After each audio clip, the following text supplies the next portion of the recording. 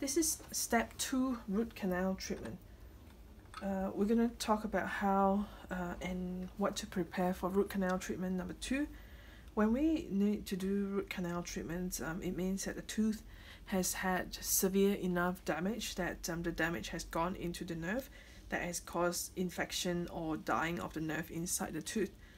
This is a root canal space, okay? It's basically a chamber that is uh, empty after the first stage of root canal treatment.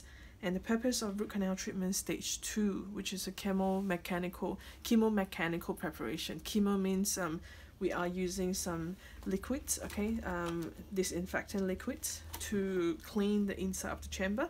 Mechanical means that we're going to use some mechanical tools, such as uh, it's called files, but it's literally there is some some tools to clean the inside of the tooth uh, to make a smooth and uh, feelable feelable surface so that we can save the tooth.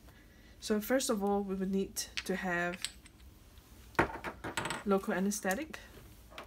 So start with the uh, numbing gel, and then we'll go into uh, local anesthetic.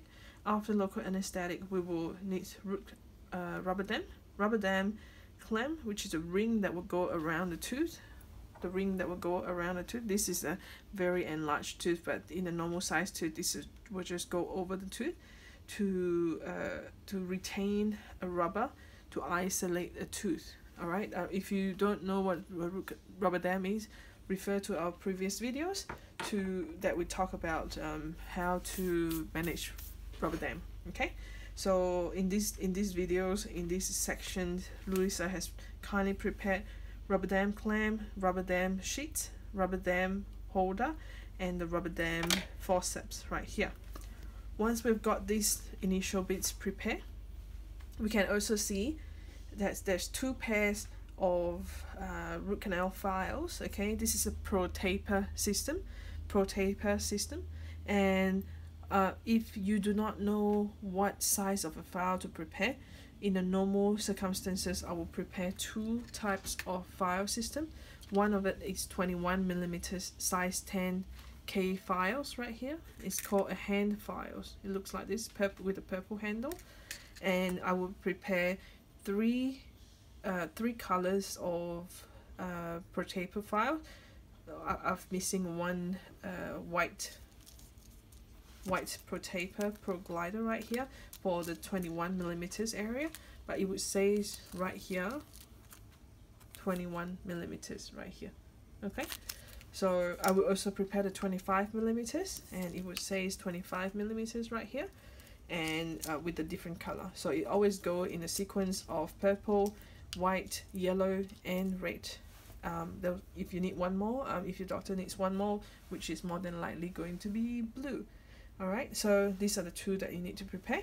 And from here we have uh, two sets of burr one set of it is in purple coded this is the endodontic files uh, sorry endodontic burrs. And this is this is a special golden burrs that is long and it has non-cutting end. Uh, it protects the tooth all right and this is Gates Glidden Gates Glidden we need it for first and second step root canal treatments and this is just a normal restorative burr kit.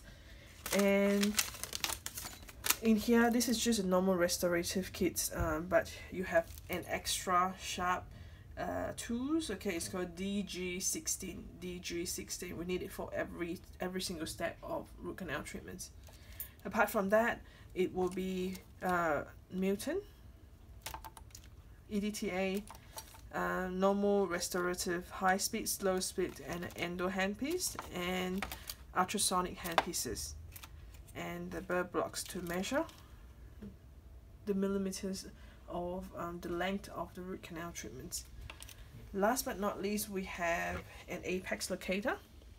The apex locator tells us um, how long the internal surface of the root canal is, meaning um, from the top bit to the bottom, because that is to ensure that we've cleaned the entire length of the tooth.